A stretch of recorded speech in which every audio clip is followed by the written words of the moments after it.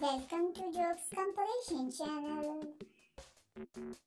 A man went to an exotic country and came across a stall selling handmade handheld fans.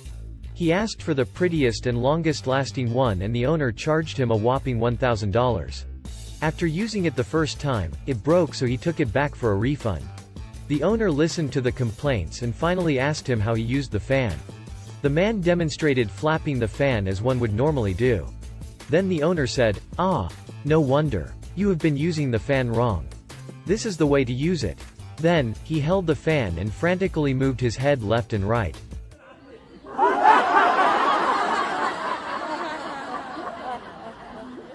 An Italian businessman goes to Indonesia for a business trip. He hates Indonesian food, so he asked the concierge in his hotel, is there any restaurant where I can find Italian food here? The concierge says, you're lucky sir, a new pizza restaurant just opened and they deliver. The businessman asks for the restaurant's number, goes back to his room, and orders the pizza. 30 minutes later, the delivery person shows up with the pizza. He takes the pizza and eats it.